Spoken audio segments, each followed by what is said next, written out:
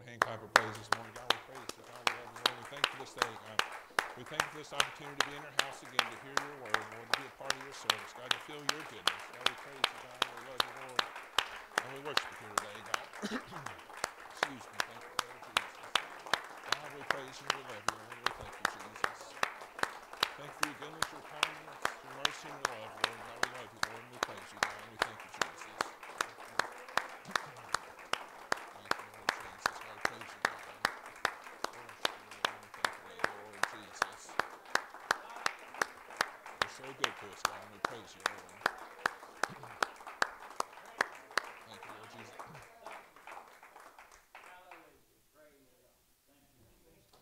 Y'all have to bear with me this morning. Feeling a little extra choked up today. Um, today we'll be on lesson 2.4, and that's titled uh, Beauty from the Broken. And this will be the, the final lesson on Joseph. Uh, the big idea is I will surrender my past to God and allow Him to make something beautiful out of my brokenness. Uh, focus verses are Genesis 45, 7 through 8, and Genesis 50 and 20. And God sent me before you to preserve you of posterity in the earth and save your lives by a great deliverance.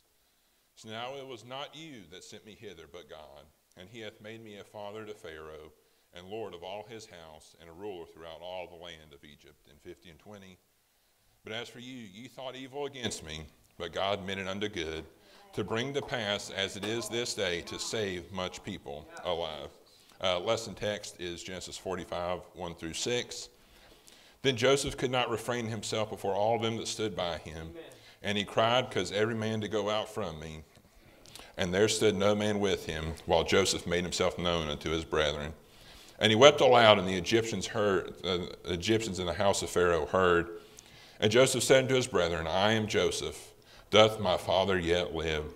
And his brethren could not answer him, for they were troubled at his presence. And Joseph said unto his brethren, Come near to me, I pray you. And they came near, and he said, I am Joseph your brother, whom you sold into Egypt. Now therefore be not grieved nor angry with yourselves, that ye sold me hither, for God did send me before you to preserve life. For these two years hath famine been in the land, and yet there are five years in which there shall neither be earing nor harvest. And then Genesis 50, 15 through 21.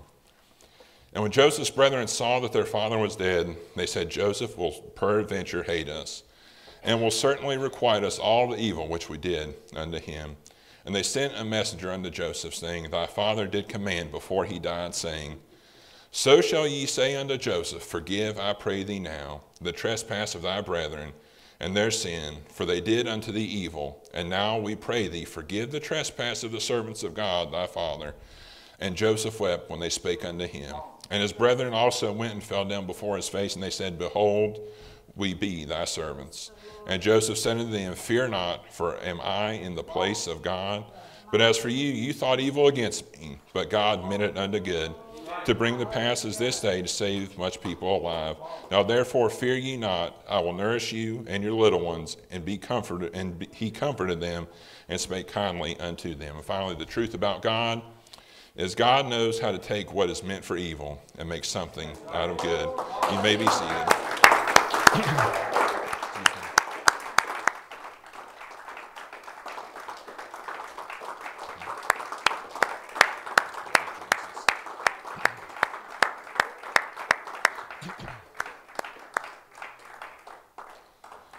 So um, the lesson text was like four chapters long, and I've, I've, been advised to trim down the, the lesson text just a little bit, so I didn't want to keep y'all standing for 10 or 15 minutes. Uh, so basically, we've learned the past lessons, Pharaoh has his dream, or he has two dreams, and he can't interpret, no one can interpret them. You have the seven sickly cattle devouring the seven large cattle. You have seven sickly ears of corn and seven healthy ears of corn. And after some years, uh, servant or Pharaoh's servant remembered Joseph and how he interpreted dreams in prison. And now we know that the, the seven healthy things represented the seven years of plentiful harvest, and the seven sickly things represented seven years of famine that would follow him. And after he installs him, or I'm sorry, after he interprets the dream, Pharaoh installs Joseph to be second in command of all of Egypt. And Pharaoh is the only one in the kingdom that does not answer to Joseph.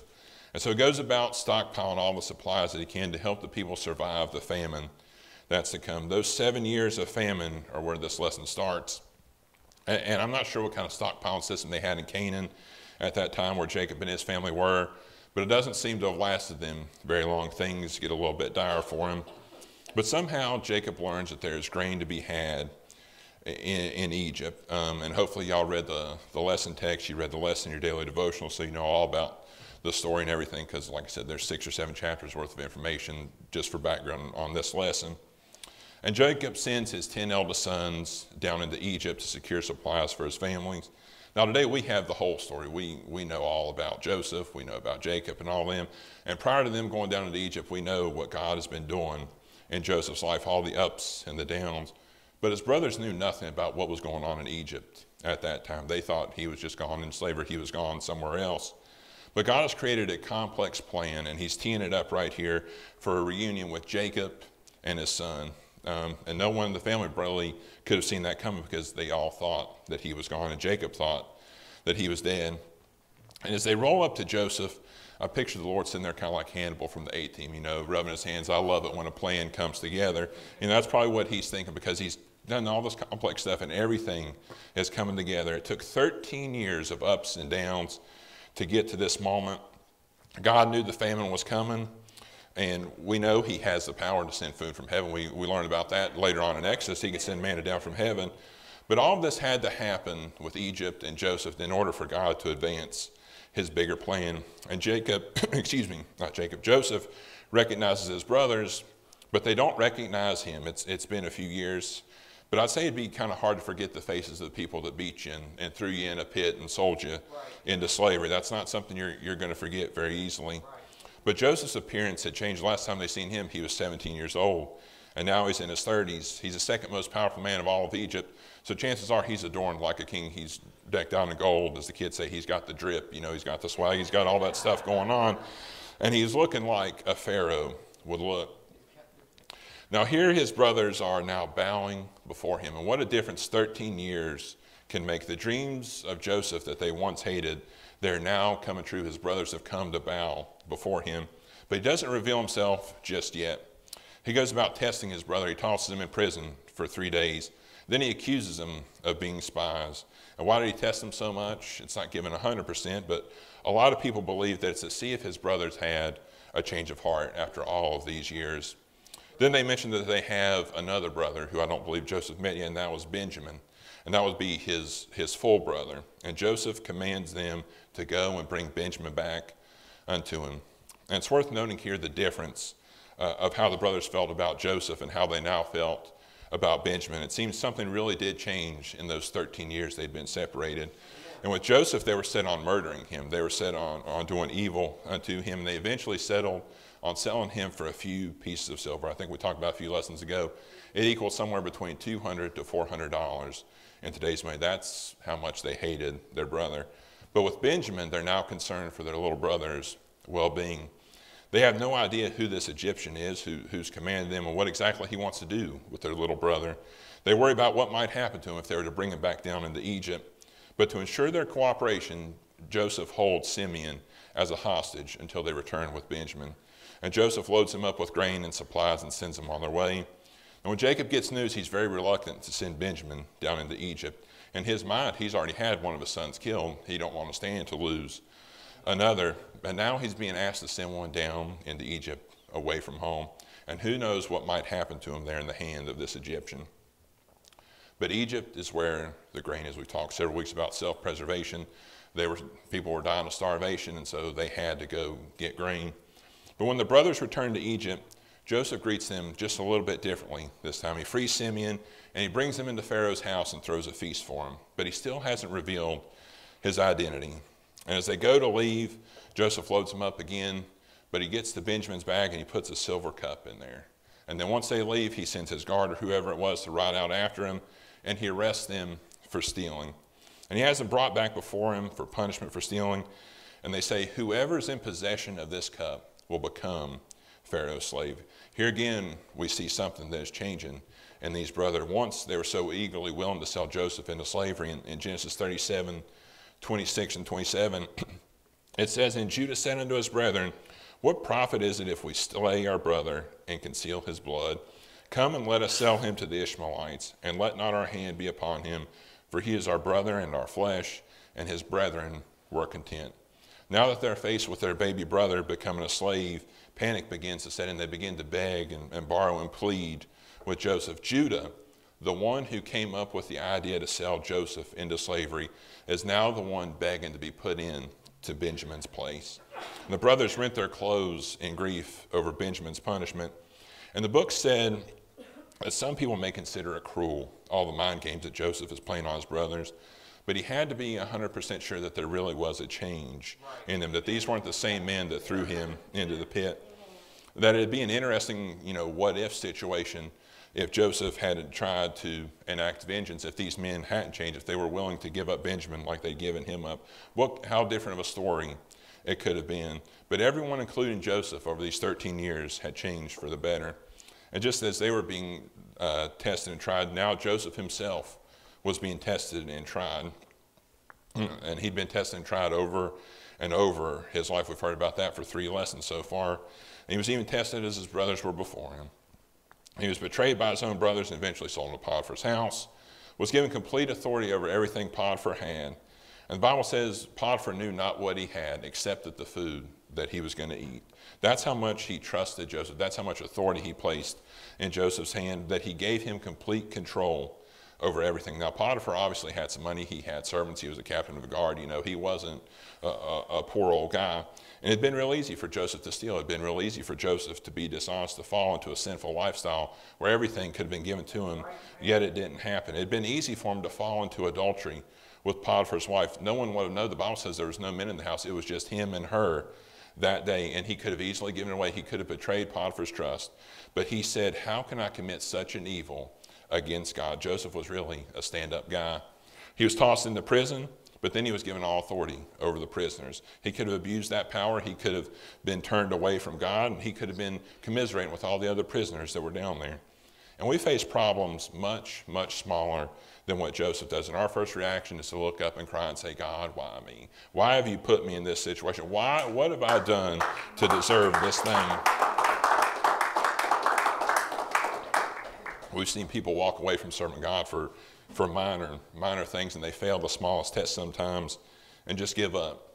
But not Joseph. He was stuck in prison for so long, and over something he did not do, he was wrongfully convicted of that crime. And not once did we read about him doubting God or complaining or crying unto God. Now he's elevated into power in all of Egypt. His brothers stand there right before him, and Joseph still being tested. It'd been real easy to exact revenge upon all of them make them suffer the same fate as he did an eye for an eye and a tooth for the tooth type of punishment? Or should he extend mercy to those who didn't deserve it? Those who sold him into slavery for a few hundred dollars?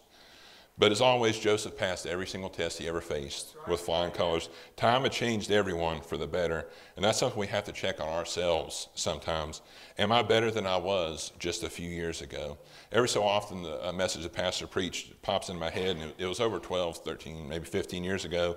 It's time, it was, it's time for the church to go to war. And over those 12 years, have you fought for the kingdom like you're supposed to have been fighting? Or have you become lazy in your fight? There's only two options in, in that. Are you closer to God now more than you were back then? Are you more faithful to God now than you were back then?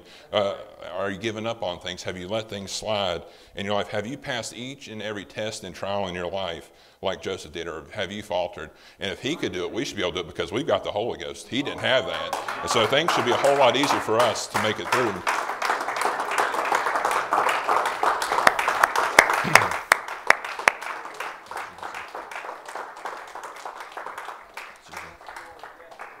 First Peter 1 and 7 says that the trial of your faith, being much more precious than of gold that perisheth, though it be tried with fire, might be found unto praise and honor and the glory at the appearing of Jesus Christ. And James 1 and 12 says, Blessed is the man that endureth temptation, for when he is tried, he shall receive the crown of life which the Lord has promised to them that loved him. Each of us are going to face tests and trials all throughout our lives, but we only receive our reward if we hold fast, if we don't waver on God. You look at people like Joseph, like Daniel, Shadrach, Meshach, and Abednego. Each one tested and tried, and each one endured until the end. What got them through the test was a very close relationship with God, was a tight walk with God. And if you're hand, walking hand in hand with God, then you don't have to worry about falling. You don't have to worry about tripping. So when you let go, that's when the problems are going to happen. And, and a relationship with God will allow you to walk with confidence into alliance and have no fear when you set foot into a fiery furnace. The ups and downs that Joseph faced won't phase you. It'll cause you to show mercy to those who should be expecting vengeance. It'll cause you to act like Christians are supposed to act. And recently I've gained a new respect for the, the three Hebrew boys because uh, the other night at after prom, a breaker had tripped and, and we were going around the school trying to figure out where it was. And we get to the boiler room and we open that door and man, that, hit, that heat hits you right in the face. It, it, it, it, was rough. After about 30 seconds, I was ready to get out of there. I was just ready to go. And I can't imagine the heat that, that the Hebrews faced that day, that the strong men were killed at how hot that furnace was. But they walked in and out untouched. And the only way to pass a test like that is to be super close with God. 1 Corinthians 10 and 13 says, There hath no temptation taken you, but such is, as is common to man. But God is faithful, who will not suffer you to be tempted above that ye are able, but will with temptation also make a way to escape that ye may be able to bear it. Many temptations, many trials that are, that are common to man that trip up so many people lying, cheating, stealing, adultery, all types of, of sin and wickedness that, that will trip you up and mess up your walk with God that will cause you to falter. We're all susceptible to those things. It's a common thing to man. But no matter how hard the temptation that you're going to face, you don't have to fall into that temptation because it says God is faithful. And when we face those tests, He's going to make a way of escape so we can bear that, that burden. And the escape route only comes through Him. He is the door. He's the only door that we have today.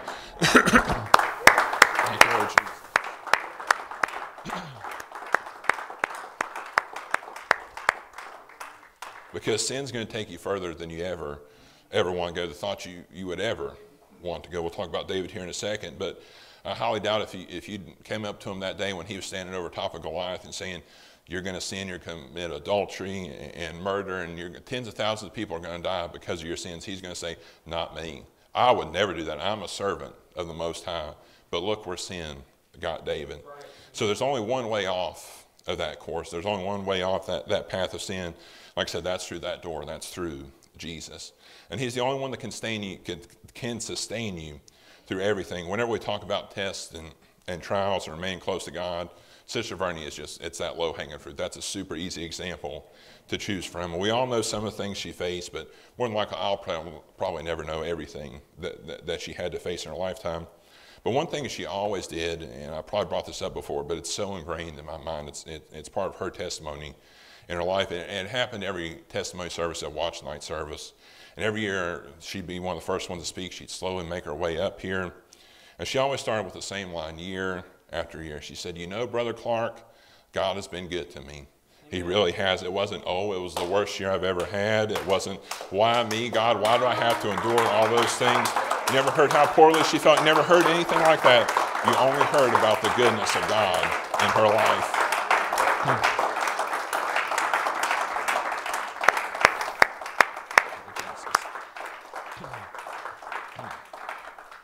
And I bet if you were to hand someone a list of everything that she did have to endure through her life, they'd ask how she did it. And it's very simple. She just held on to God until it was all over. Through health, through family, through losing several loved ones, she just kept holding on to God. And her life's an example. And the Bible's littered with, with tons of that. when the trials feel like it's too much, all you have to do is just keep holding on to God, and He's going to see you through.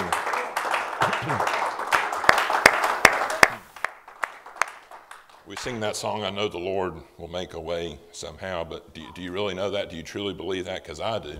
You know, because You can go through a lot of stuff sometimes and you get yourself in, in a big mess, and there's only one person that can get you out your friends, your family, mom and dad, grandparents. Nobody can help you, but Jesus is the only one that can help you get through that. I don't know how he's going to do it. I don't. We talked about that believing and not understanding lesson. I don't know. I understand it. All. I don't know the in, uh, you know eccentricities and all that stuff. But if I just remain faithful and I hold on to Him, just trust His plan, He's going to see me through.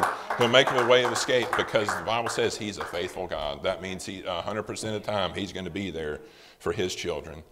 Like I said earlier, when you let go of God, that's when you're going to have your problems. That's when you're going to stumble. That's when you're going to fall. David was a man after God's own heart, but he wasn't perfect, just like we're all not perfect. He had many troubles in his life, and, and many of them stemmed from one event, and that wasn't Bathsheba. That came after the event that set him on the course for sin. And the Bible says it was time of the year that the kings went to battle, but David tarried in Jerusalem. And we learn what David's original mistake was from Uriah in 2 Samuel 11 and 11. And this is where David is, it's later on, he's trying to cover up his adultery and get Uriah to go into his own house. It says, And Uriah said unto David, The ark and Israel and Judah abide in tents, and my lord Joab and thy servants of my lord are encamped in the open fields. David sent the ark away while he stayed in Jerusalem, a representation of the presence of God here on the earth, and David sent it away from where he was. David's first mistake was separating himself from the presence of God. And because he had separated himself from the presence of God, that opened the door for lust to sneak in there. And then that led to adultery, that led to murder, that led to everything that happened afterwards. Had he been with the ark, had he been where he was supposed to be, Bathsheba would have never have been an issue. Nathan wouldn't have had to prophesy against all his house. The ordeals with Amnon and Tamar and Absalom may not have happened to David because part of the punishment, he said, Your children are going to trouble you. You're going to have problems out of your children after God had passed judgment on them. The tens of thousands of people that died because of David's sins and, and the civil war and everything that happened, all because of his mistakes, they might have lived uh, long and healthy lives. And when you're seriously close to God, it's hard for temptations to be effective. When David brought the ark back, he brought it back the second time the right way. He was dancing down the streets. He was praising God. He was offering sacrifice. He was doing everything that he was supposed to do. He abased himself in front of the people and he abased himself in front of God. And not even his own wife mocking him that day could bring him down. But when he separated himself from the ark, that's when the trouble came. Amen. And I don't have time to go deep into all the story of uh, David and everything. Y'all can go read it. But after David goes and this after the child dies and he gets up and he washes himself because he's been in mourning.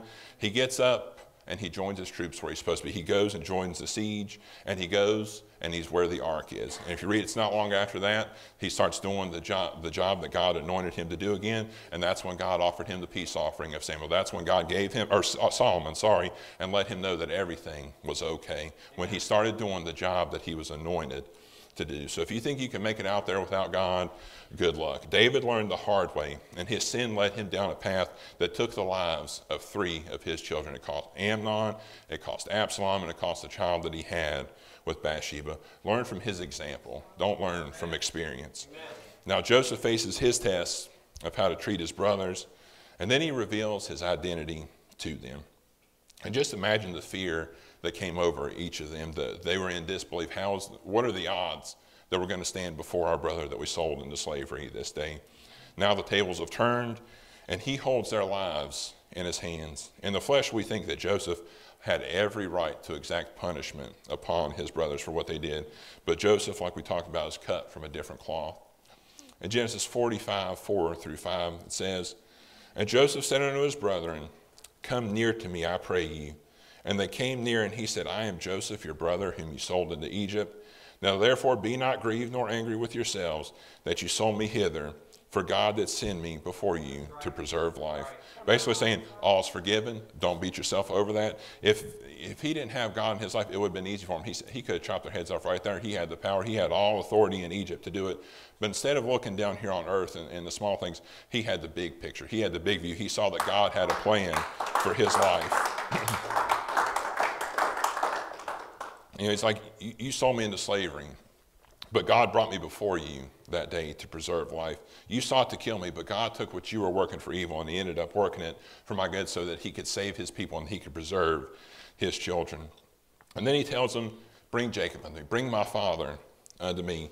And Jacob was in disbelief when he heard this news because for 13 years he thought his son was dead. He didn't know what was going on down in Egypt. But when he seen the, the wagons and he seen all everything that was brought back, he had to have known that Joseph was still alive.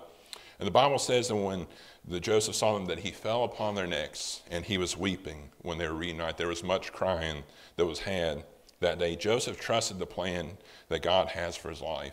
And God has a plan for each and every one of our lives today. Romans 8 and 28 says, And we know that all things work together for good to them that love God and to them which are called according to his purpose. If you're part of the plan, things are going to work out for your good if you're a servant of God. Last week upstairs, we were talking about Joseph as well. And I was telling the kids how, how God can take bad things that happen in your life and turn them around and, and work things for good. In, in February and March uh, 2018, it was a fun time in our family because I'd had my first surgery. Dad broke his leg. The pastor just retired because I believe it was a catheterization he had. So we were all kind of laid up for a little bit. Poor Duane had, that was the year we had tons and tons of snow, and poor Duane had like seven yards to take care of. We love you, brother Duane. And so dad was in the cast, and I couldn't drive, but the pastor could. So he was our chauffeur just for a little bit, and things worked out for us. And I kept having more issues, kept being out of work, and I was on disability. And it wasn't that fun because you only make 60% of your income, and then the company doesn't pay their share of the insurance, so you have to pay that out of your pocket. So needless to say, I was ready to get back. You know, I know I joke around about getting out of work and everything, but I really was anxious to get back. But HR kept telling me no. I'd ask, what papers do you need? I said, tell me letter for letter what you need them to say. They say, okay. They'd send me the emails. I'd email the doctor. A week later, I'd get the paperwork. I'd send it in HR. They'd reject it. Never gave me a reason why. They said, you can't come back yet. I'm like, okay. A few weeks will go by, rinse and repeat. And I did it many, many times. But October rolls around. I believe it was October. And dad ends up in Wake Forest for 10 days. I'm still off work. So I was able to be there for that. I was able to drive mom back and forth to the hospital and help where I needed to. And then I needed another surgery in December. And had they let me back at work before this happened, I would have had to have gone off again and started the whole disability process. I'd had to go without pay for, I think it was either 30 or 60 days. I'd missed, you know, that, that much pay. But during that time, I also decided to change my major to, to IT work, and now that's led to a job that I love and that's opened other doors in my life. And if you'd ever been up to Pat's and seen me play basketball, you'd probably say, there's no way this guy's ever going to coach a basketball team. But here I am today. I get to work with kids that don't have the best home lives, very, very sad stories. But now I can be a positive influence on them. If I'd stayed at my other job, I would never met these kids. I would never had a chance to influence, and, and I give God all the glory for, for everything. But I've had teachers come up to me and ask, they say, What are you doing exactly? What have you done different to help these kids. They said because once they've started playing basketball, we've seen their grades going up. We've seen certain behaviors go away. Whenever they're around you, they're on, pretty much on their best behavior. Now, when they get back in the classrooms with the teacher, they falter back a little bit, but they're improving. They're still steadily improving. And God took something terrible that happened over four years ago, and now He's working it for my good, and He still continued to work it for my good, and not only for my good, but for all the people that are around me.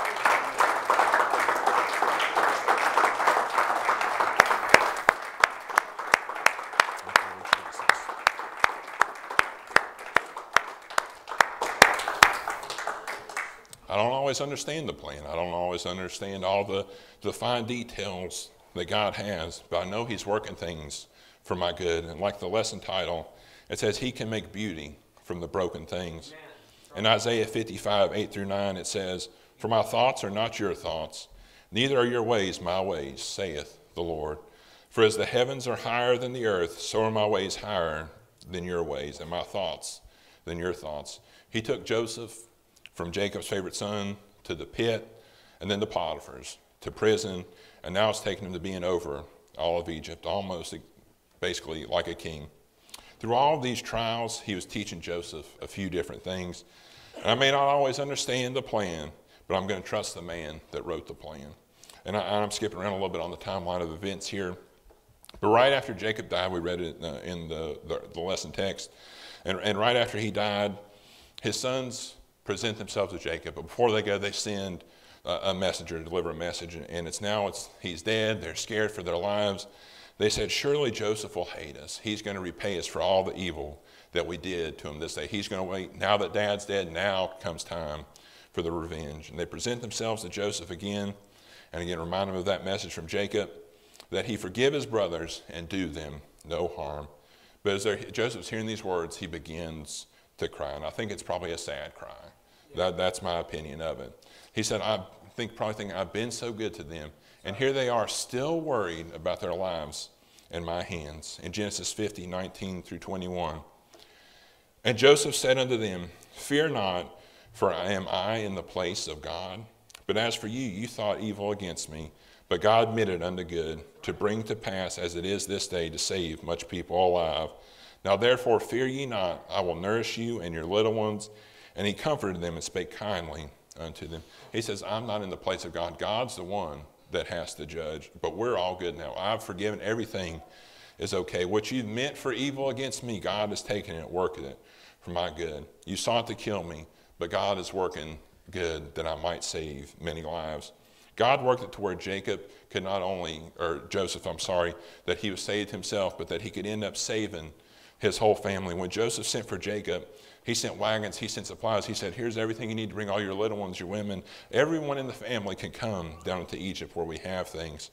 And I think it was around 70 people in total that came down with Jacob out of Canaan.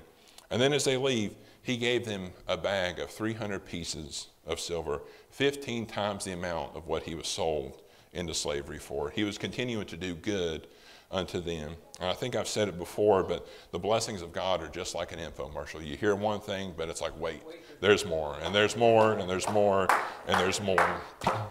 Excuse me. The famine hit Egypt. The people needed supplies. And Joseph looks at them. He says, Sell me your flocks. They say, Okay, we need bread, we need money, we need everything. They said, The flocks are now yours. And so Pharaoh takes control of pretty much all the flocks that are in Egypt. Next year, the same exact thing happens. All the people had now was their land, and they sold it to Pharaoh as well. So now all the land belonged to Pharaoh. And this is all going on in the background as he's dealing with Jacob and, and, and his brothers. Um, and so Joseph begins to talk to Pharaoh, and he says, Let Jacob and your family live in Goshen.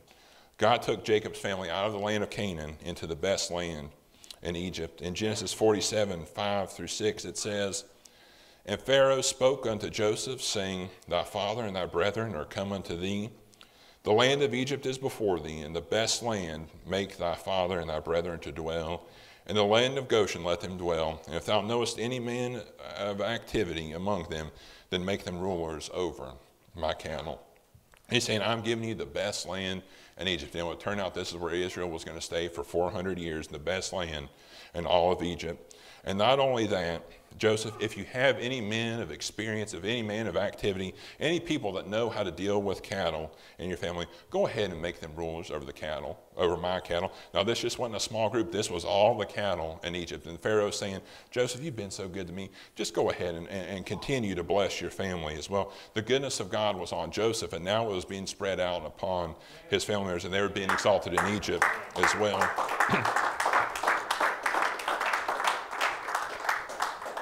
But wait, there's more. Genesis 45 and 28. And Israel said, It is enough, Joseph, my son, is yet alive. I will go and see him before I die. My son, who I thought was dead, is now alive. And Jacob said, That's enough for me. And in chapter 48, Jacob and Joseph are together, and Jacob passes on a blessing to him before he dies.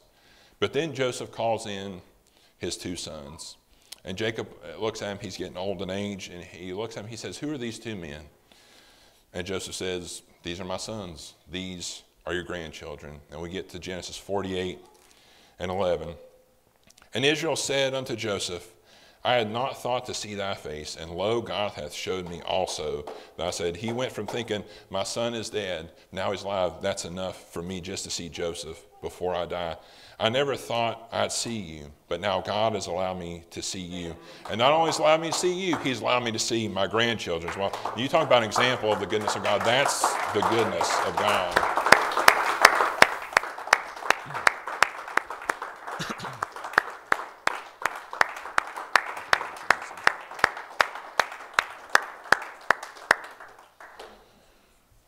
I'll go ahead and, admit this now. I've done a little grumbling, you know, that we've had four lessons in a series. I've had to teach all four, two down here, two upstairs, all on, on Joseph. You know, I was like, you know, enough's enough, just break it down into two.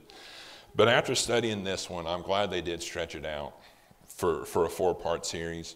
Because each time you go through a lesson, each little bit that was broken down, and, it, and you get down to the, the minute details in Joseph's life, you continue to see the goodness of God working in different, all the little cracks and crevices in that story. And then in the big picture thing, you see all the goodness of God working. Each time someone sought evil against him, God turned it around and made it for his good. His brother sold him, and God exalted him to Potiphar's. Potiphar's wife lied, and he was put into prison, and God exalted him in prison. And then from prison, God exalted him over all of Egypt to save countless lives and to set the stage for the Israelites to come, that they would have a place to grow and a place to multiply, and then one day be delivered into the promised land. Now we know the devil is our adversary. He's walking about like a, a, a roaring lion, seeking whom he may devour. And they sought to stifle the church as well. You know, the enemy sought to, to, to, to quiet the church, to silence it people like Paul wreaked havoc upon the church, the Bible says. And there was great persecution. But what the enemy meant for evil, God turned it around and worked it for their good. If y'all have ever seen a, a movie or an old Western, and you see a fire break out, you see people get them big old blankets and they start swatting at it. You know, a barn with hay or, or full of cotton. And, you know, they just go around, they just start smacking that thing. That's how they're going to put the fire out. Well, if you think about it, that's really one of the dumbest ways that you can fight a fire. Because every time you hit that fire, you're sending embers up in the air, and you're causing it to spread more and more and more. And they thought they could silence the church back then. They thought they could beat the church into submission. But every time they took a swing, it kept sending embers further and further and further away. Where it was once centralized in Jerusalem, now it's spread out to Antioch and all these different places, hundreds and hundreds of miles away from Jerusalem. All because the enemy said, We're going to shut down the church. But God said, You think what you're doing is going to shut down the church, but it's actually uh, working for my plan to enable the church to spread.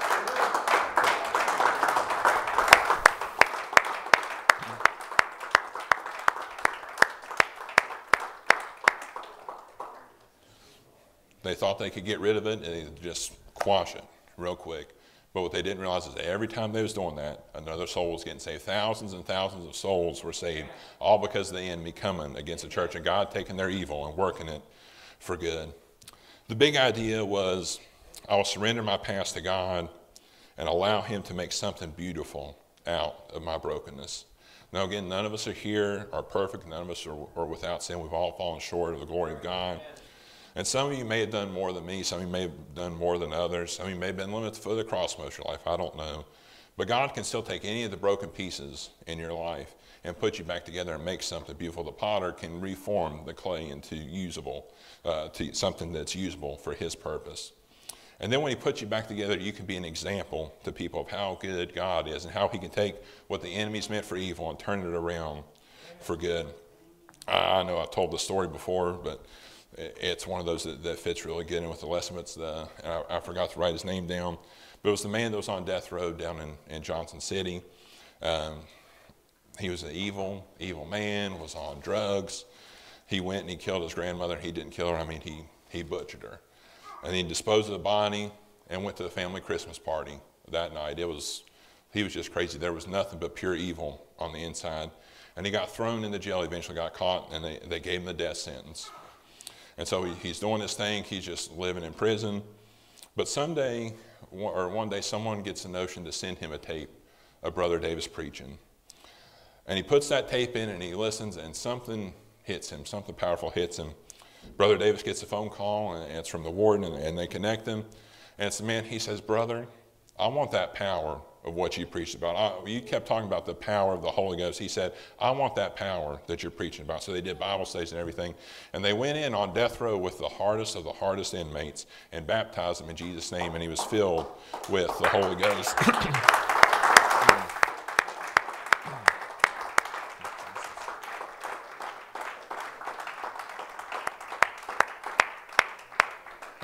but wait, there's more. So he was completely changed. Then he began to witness and teach to other prisoners there on death row. And they went in and they baptized even more people on death row, the worst of the worst criminals, we would say, down in Jesus' name. What the enemy meant for evil. The, if you looked at that guy's life, you would have said he's got his ticket punched straight to hell. He's on that long black train and he ain't going until he gets that final destination. But one day, that door opened up and he got off that track and he went from going down to hell to where he was saved and he ended up making it into heaven.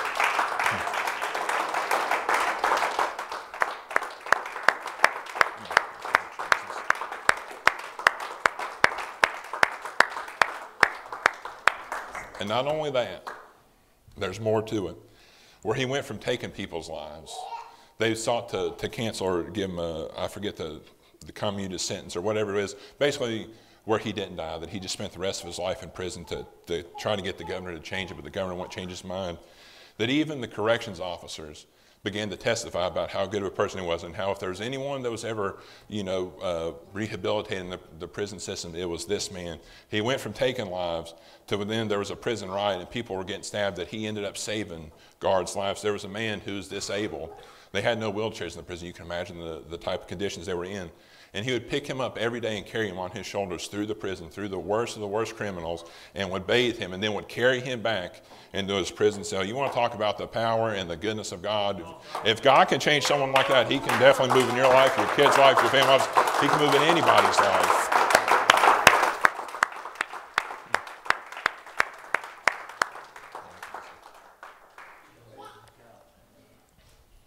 But he's gone now. He was, he was executed by the state. But it still doesn't mean that his story's over. He's an example that we can all look to, that you can tell people, that you can share an example of, because we have Paul and everything, and, and we have these examples of people who, who are gone there. Thousands of years have gone now. But now we have examples of people that are still happening, that God is still working, that God is still moving on people, even in the modern times that we can point to and show examples of. And now we all need to get our acts together. We all need to, to get close to make ourselves right with God and begin to reach out to all the sinners, to all the lost people that are in this world. We need the rough ones to come in. We need the drug addicts to come in so that we can say, when God cleans them up, why don't you look at what the Lord has done? If He can do this for them, then He can definitely do this for you. He can do it for all of us. And again, none of us are perfect, but the altar is open today. For God, all you have to do is say, here's the broken pieces of my life. I just need you to glue me back together again because I can't do it. There's a reason the Bible says, cast all your cares upon him because he cares for you. When it talks about, we read in that scripture earlier in 1 Corinthians uh, 10, it was, it says you're going to face troubles, you're going to face temptations. There's going to be a lot of weight to bear. But God is faithful and He's always going to have that door open for you. So if you're walking close with God, He's going to provide that escape route for you. And so you may not be walking on the straight and narrow today. You may not be living at the foot of the cross. But if you come to the altar, you can make things right. You don't have to leave like you came into this building. Joseph's brothers saw him coming, and they said, Behold, this dreamer cometh. They were mocking him. And little did they know that they'd be setting the stage for those, setting the stage for those dreams that they hated so much, those dreams that they mocked, for how they mocked this teenager by saying, "One day that you're going to bow down to me." Little did they know that they were help setting the stage, that they were help bringing these dreams to completion. God has a plan for your life. May not always be the smoothest ride, may not always be the most fun ride. Like I use myself an example. I didn't foresee all my stuff happening to me when I turned 28. I didn't foresee a lot of things happening, but that's just the way it goes. And that's God's plan that He has in my life. I've mentioned it many many times here. I honestly never believe I'd be behind the pulpit because I hate public speaking. I still do. Come to choir practice, it's tough. Pastor, it's tough to get me to pray, to open up to pray. And, and choir practice, it's just because there's something inside me that doesn't like public speaking. But when I get up here, I can't shut up. I just, I don't, it's, it's a God thing, okay? But I, I never honestly saw myself, I thought, I'll just play the bass, I'll just be in the background, I'll do my own thing. But thanks to COVID, you know, we was up here every once in a while, you know, once every year, whenever, filling in for Duane when he traveled. COVID kind of accelerated things, and now we're up here on a weekly basis. But that just goes to show that you can plan your life. And the old saying is, you want to make God laugh, tell him what plan you have for your life. And God has a plan for you. I know He's got a plan for me. And if He can bring me from where I was, where I couldn't even testify, y'all remember how bad I was at men's prayer service, to where I get up here and talk for 45 and 50 minutes straight. If He can do that for me, I know He can do anything for you. And so, like I said, it's not always the smoothest thing, it's not always the easiest ride. But as long as you're walking hand in hand with God, He'll take whatever's thrown at you and work it for your good as long as you're one of His servants. Pastor.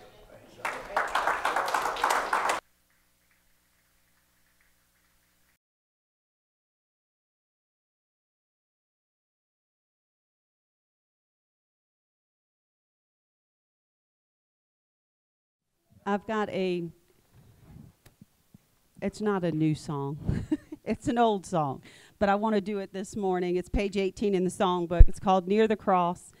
And um, I, I wanted to know a little bit of history on this one. I, when I was looking and thinking of songs to do today, and, and I really do want to pick the right ones all the time for service. And um, so this one just came to mind. And it was written back in 1869 by a woman named Franny Crosby. And she was blind from six weeks of age on, was never able to see, but she wrote over 800 and, uh, uh 8,500 hymns. She just loved the Lord. And she worked at a school for the blind. Anyway, in her older years, someone came to her and asked if she could have any wish in the world that she wanted. What would it be? And of course, they're thinking in, in their mind, she's going to think, you know, I wish that I had my sight. But she said, I want to continue to be blind. I said, Why in the world is that? She said, Because the first face I want to see is Jesus. I want to see his face first when I get to heaven. So keep me near the cross. If you don't know this song, it's really easy. You'll be able to learn it really, really quick. See? Jesus, keep me near the cross. There a precious fountain, free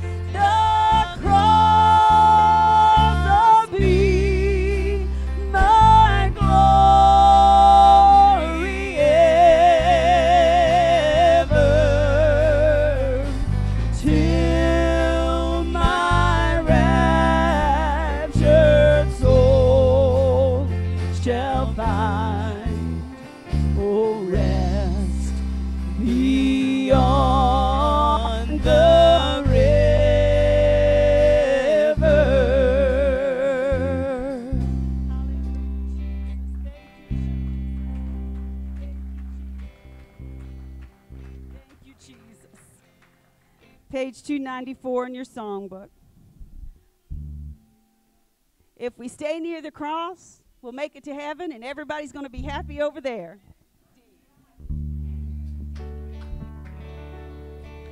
There's a happy land of promise over in the great beyond where the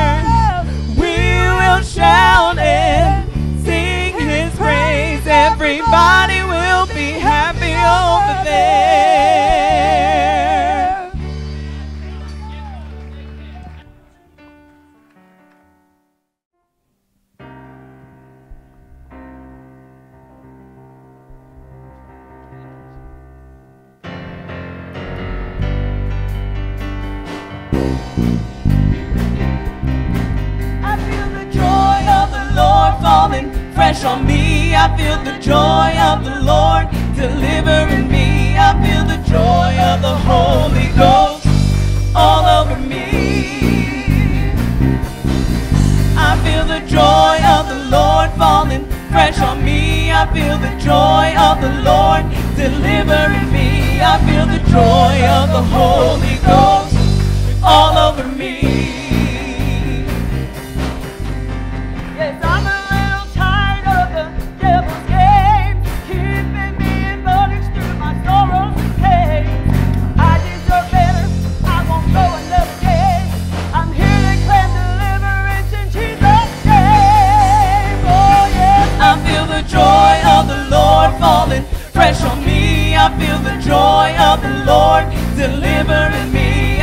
the joy of the Holy Ghost all over me.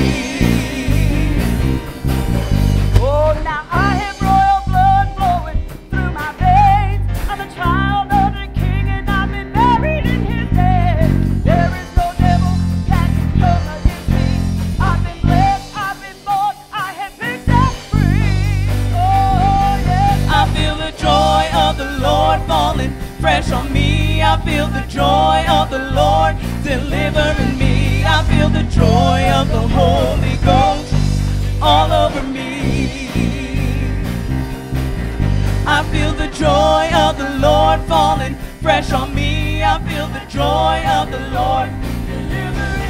I feel the joy of the Holy Ghost all over me.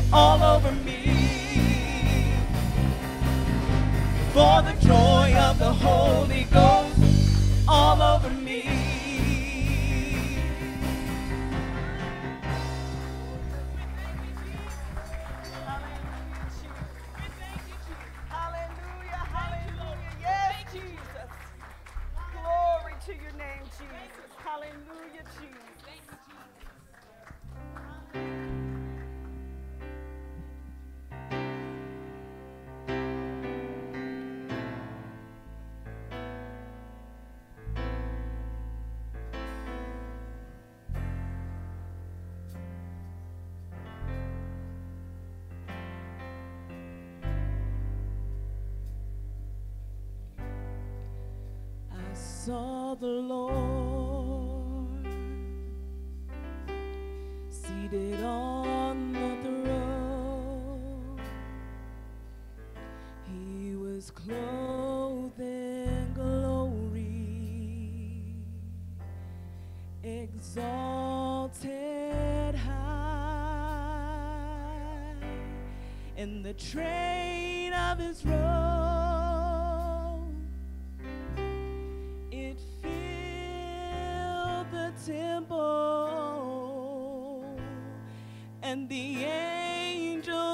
gathered round him, and they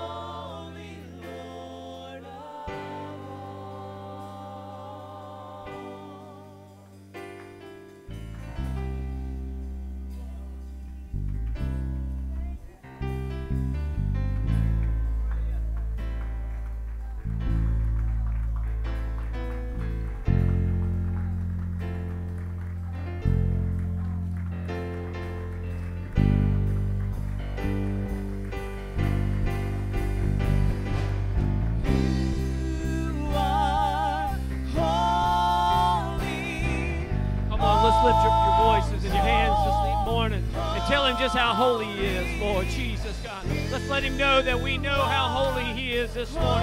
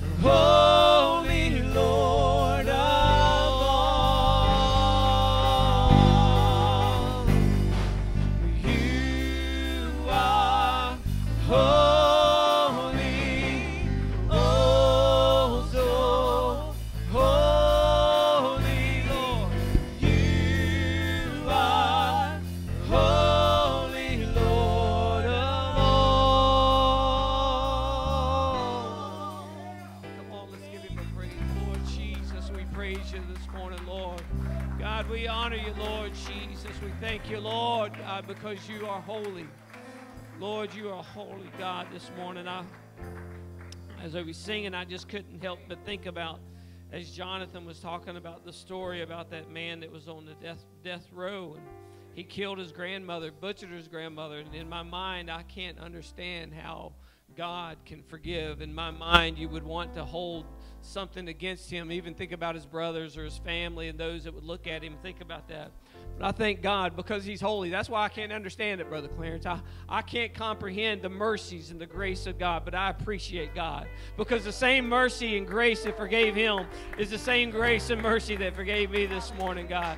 And I appreciate you, God, because of your holiness and because of your forgiveness and because of your mercy, God, and because of your grace, Lord Jesus, God. I appreciate you, Lord. God, I appreciate you that your ways are far, far above my ways, God. I appreciate you, Lord, because your ways, Lord, are so much higher than my ways. And I can't understand your ways, but God, I appreciate the love and the mercy. I can't understand sometimes why you forgive me, Lord Jesus, God, for my slackness and my. Oh, Lord Jesus, God, I appreciate you, though, Lord. God, you are so holy this morning, Lord. God, you are so holy this morning, Lord. I appreciate you, Lord. God, I love you, Lord Jesus. God, I praise you this morning, Lord.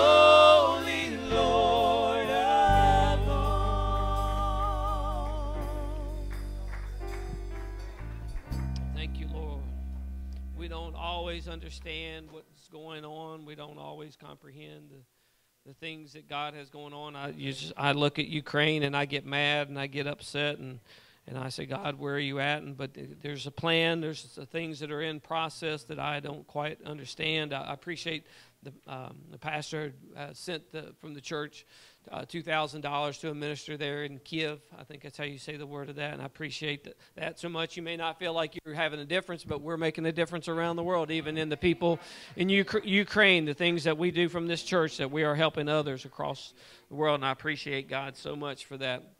If you have your Bibles, if you would, if you would turn to Jeremiah chapter 38. Uh, and we'll read verses 14 through 20, which is a lot for me normally, but I think I needed these.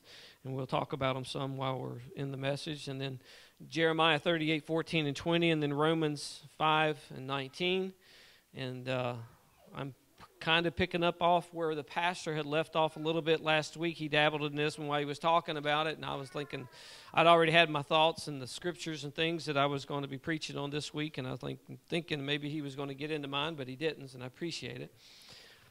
Jeremiah, and I just appreciate God, that's just the way He works. Jeremiah 38, verses 14 through 20. Then Zedekiah the king sent and took Jeremiah the prophet unto him into the third entry that is in the house of the Lord. And the king said unto Jeremiah, I will ask thee a thing, hide nothing from me. Then Jeremiah said unto Zedekiah, If I declare it unto thee, wilt thou not surely put me to death? And if I give thee counsel, wilt thou not hearken unto me?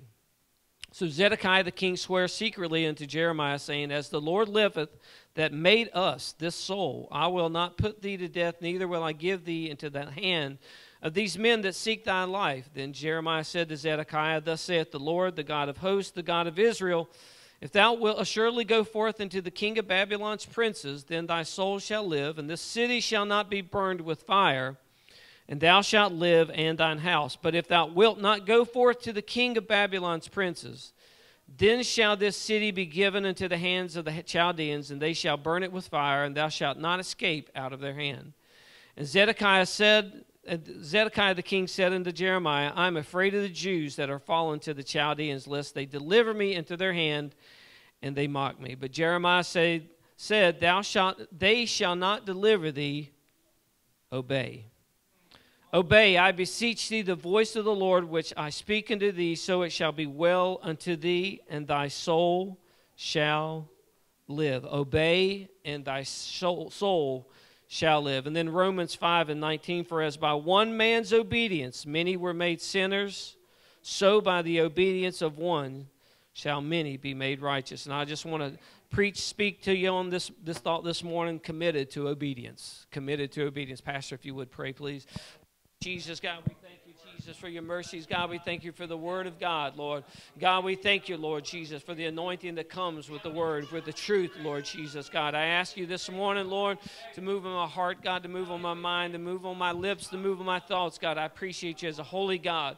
Lord Jesus, God, you are holy, Lord Jesus. God, speaking to my heart, let the words be from you. Let it be from your heart, not my heart your mind, not my mind, Lord Jesus. God, let it be from you, Lord Jesus. God, we appreciate you, Lord, speaking to me this, speaking to this church, Lord.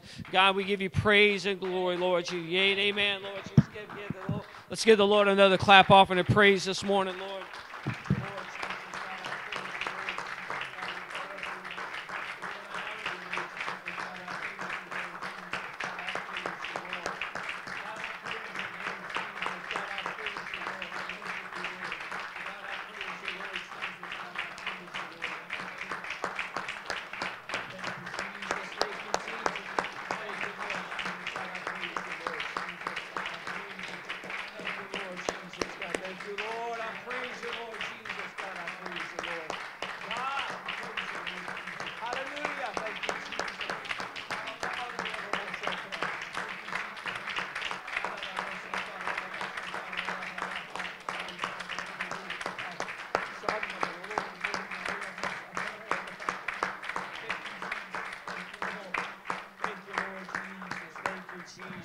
You may be seated.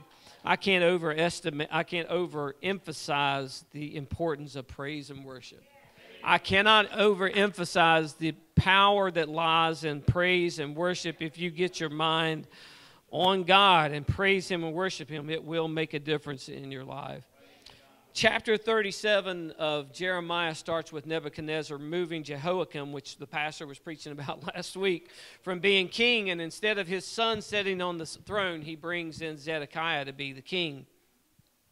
And it says that the people would not listen to the words of the Lord. They wouldn't heed the commandments and the preaching of Jeremiah and all the other prophets. But it said that Zedekiah asked Jeremiah to pray for the Lord, to the Lord for the people. He asked Jeremiah, even though he wasn't a right walking king, he still approached the prophet Jeremiah and asked for him to pray for the people. He wanted Jeremiah to pray for the, the people, pray for their situation, to pray. They were in captivity, and he wanted God to bring them. He's, he's the leader of the people now, and he wanted direction. He wanted people to serve the Lord. I believe he really wanted people to turn their hearts to the Lord. I believe they really wanted God to help him in that situation. But the problem was that they wouldn't listen to God they wouldn't obey God. They wouldn't heed the words of God. And, and the more that they preached to them, the worse that it got. He wanted God to move for them, but they still only wanted Burger King God. They wanted it their way. They wanted God the way that they wanted. And so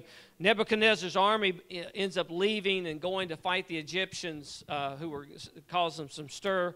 And so it gives Judah and Israel this, this hope that they were going to be freed, that Nebuchadnezzar was going to leave them and wasn't going to come back to them. And Jeremiah told them, so no, guys, that's not what's going to happen. God has done pronounced his judgment. It's going to happen. You might as well get prepared for it. You may, might as well get re- uh, ready for it. Jeremiah, Jeremiah looked at him. He said, if there was nothing left of, of Nebuchadnezzar's army except a bunch of wounded men, they would still rise up and defeat you. And the city is going to be buried. But he said, the thing is, but God. You've got to obey God. You've got to go with the Babylonians. That was the message that Jeremiah was preaching to them was to turn it's it's God's punishment. It's inevitable. God's word has already spoken it. He has held it back and held back his wrath for so long and now it's coming to pass and there's nothing we we can't do anything about. It. We've put we we passed that point of no return and God is going to pour out his wrath on the people of Israel. All we can do is let, you know, all we can do is allow ourselves to fall into his hand rather than his hand falling on top of us. I'd rather fall on the rock. I don't want the rock falling on me. So the princes of uh, the princes of uh, the princes of Judah and stuff begin to accuse Jeremiah of being in league with the Chaldeans and they throw him in prison. But the king secretly goes to Jeremiah and asks, Is there a word of the Lord? He was still coming to Jeremiah in secret. He didn't want people to see what he was doing. He said, Is there a word of the Lord? Again, he wants to do what's, right, but he's afraid of the people. He's afraid of what they think of him. He's afraid of what they're going to say. And, you know, we can't base our relationship with God with, on, with concern about what people think of us. I can't worry about what you think about me and the way I'm serving God. I can't worry about what my wife thinks about me the way I serve God. I can't worry about my, my kids or my grandkids or, or my boss or my friends and the people away. I got to base it on what God can do for me. I've got to base my relationship with God on what God can do for me. And He's the only one that can save my soul. He's the, Brother Johnathan said, He's the only way of escape I've got in this world. He's the only way out that I know of. I don't know of any other way out of this place and into heaven except through God, through Jesus. So I have to base my relationship not on fear of what they think, but on fear of what He thinks, on the fear of what God says. He's the only one that can save us. And so Jeremiah says, Yes, there is a word from the Lord, and it's the same word that I've been given to you from time and time. You're going to be delivered into the hands of the king of Babylon. You might as well accept it. Again, this is God's punishment. Fall into the hands of God. Don't let the hand of God fall on top of you. And so Jeremiah looked at him and asked, He said, I've got another question that I want to ask of you. He said, why did you allow them to put me here? He said, Where are all your prophets? Where are all the prophets that were coming to you and telling you that the Babylonians wouldn't come, coming, and all this punishment wasn't coming? When I was preaching to you, telling you it was coming, and you had all these other guys telling you, No, it's not going to come. We're going to, def- we're going to defeat the Babylonians. Where are they at now? Where are all those false prophets at? Where are all those people that bring out all these false prophets? Uh, uh there's uh, those false prophets. You know what they do? They turn tail and they run. They take off. They take off so they can disappear. We've seen them disappear. We've seen them disappear here lately. They've just gone into hiding and they don't want anybody to see them. He said, "Where are they at?" He said, "You're listening to these false prophets, and when their message doesn't happen, then they just turn tail and run. And here you are, king, left all by yourself. He said, and he asked him, he said, I want to be left in the prison. Jeremiah wanted to be left in the prison because he didn't want the kings to be able to allow him. And the king abides told him, he said, I'm going to leave you in the prison. But he told him, he said, I'm going to bring you some food every day. And we'll have bread delivered to you until there's no bread left in Jerusalem. Now, think about that statement because the king knew what was getting ready to happen. He said, I'm going to bring you bread until there's no bread left. He knew there was coming a day when there was not going to be any bread. He knew that we know that there's coming a day when calamity's coming. We it's already started. That we already know that it's going to happen. We we know we can't wait until it happens before we make some changes in our life. I, I'm going to bring you bread until that. I want to be ready for it. We know it's coming. We've heard the preaching. I'll be the first one to tell you that I never thought I'd grow up and be married and have kids. I thought the Lord was coming, but the Lord's still coming, Pastor. I still know He's coming. I don't know if He'll be coming for the church or if I'll get out of this world and pass away myself before it happens. But I know He's coming, so I, I got to be ready for it. He has to be left in there. So the princes come to the king and they ask him, say, We want to put Jeremiah to death. We want to put him to death because he's told the people, We want you to give up to the invaders. He's given in, he's given up to the enemies. And so Jeremiah 38 and 5, the king says, He's in your hands. He tells the princes, He's the king. And he tells the princes, He's in your hand, for the king is not he that can do anything against you. Now, that's like me telling the pastor, I want to do this, and the pastor said, You go ahead, Duane. I can't do nothing against you. I would think if I tried to do something outside of the pastor's will of something that he wanted, I believe there would be something that he would do that would be against Duane. He might, me, he might knock me upside the head just because I'm a nephew, and he, might, he can get away with that. But he was the king, and here he is. He's so afraid of people He's so afraid of what people is going to say and what people are going to think about him that he's telling guys, he's, he's in your hands. You can do with him with, you know, here he is. He's believing. He's going to Jeremiah. You know, what's the, what's the Lord saying? Give us a word. Pray for us. He believes in God. He knows who God is, and he's going to allow them to have their way with the man of God because he's afraid of what they're going to say, he, what he's, he's afraid of, of what they're going to do. So they take Jeremiah, and you know the story. I hope you know the story. They lower him down into the, he's in the middle of the prison, and they go down into the basement of the prison and they mower they lower him down into this muck and this mud and he, he, he, he, he sinks up into this mud and who knows how deep it is uh, how deep it is and so they're going to leave him there to die they're just basically putting there for him to starve to death they wasn't planning on bringing him no bread. They wasn't planning on doing anything for him. They were going to leave him in the middle of this muck and mud and just let him starve. But there was an Ethiopian eunuch, somebody that uh, Adrian's probably related to somewhere down the road. There's an Ethiopian eunuch that interceded for him. God had sent somebody to intercede for Jeremiah. And he goes and tells the king, he said, Somebody stood up for what was right. Somebody went up to the king and said, You're going to allow these evil men to do something so it's like sister sharon standing up for what's right for this little child. Somebody's got to stand up for kids. Somebody's got to stand up for these kids and make a difference in their lives for these things. I, I, somebody's got to stand up for truth and what the right thing to do Sharon's story reminded me yesterday. I was uh, I was over at the mall. I was over at Chick Fil A, and, and I seen a friend that I used to work with, and he has his grandson with him, and he's eight years old. And I'm talking to him about some things we used to do in the past, and and then his grandson just looks at me. Who's your favorite serial killer? I'm going, what? And his, his, his granddad kind of got embarrassed, and I would say, I guess so. I guess, you know, the, the little kid's asking, and he's telling me about these games that he plays, and I'm like, why are you allowing this junk to come? You know, who's, I said, I'm my favorite serial killer because I can kill a box of Frosted Flakes quicker than you can shake your head. because that's what comes into my mind. But the things that, I, I don't know, uh, the things that Sharon, the teachers, the th- kids, the, the kids today, there's somebody's got to stand up for truth. There's some, somebody's got to stand up and tell these people, get this junk out of your house, folks. Don't be allowing this junk in there. But the Ethiopian gets up, tells him, said, Why are you allowing Jeremiah to die like this? So the king says, Take 30 men. He said, I want you to take 30 men and I want you to go get him out. And so here was the king. He was a flip flopper. You know, he wore flip flops. All he was doing was walking around flip flopping. Whoever happened to be in his ears, that's who he was going towards that day. He was a double minded man. And we know what James said in James 1 through 6, uh, 1, 6 through 8. He said that a man that wavers is like a, a, a wave that's in the sea that's driven by the wind. He said, he said, Don't let this man think he's going to get anything from the Lord. A man that's one way one day and another way the next day, don't let him think he's ever going to get any. That's a strong statement to think that one day I'm serving the Lord and the next day I'm not serving the Lord. He said, don't let that man think at any time in his life he's ever going to get anything from the guy uh, from the Lord. He said, because a, a double-minded a double-minded man is unstable in all of his, and God can't trust him. God can't trust a flip flopper because one day you tell him one thing, you, one day you'll tell God, Yeah, God, I'm going to serve you. God, I'm going to worship you. And the next minute you're out there doing whatever it is. You want God your way. You want, the way, you want God the way that you want Him. He was unstable and he wasn't committed to simply obeying God. He wanted to please the king. Want, the king wanted to please, his, please the flesh, but he also wanted to please the spirit because I believe in his heart, I think in his heart, he wanted to do what's right.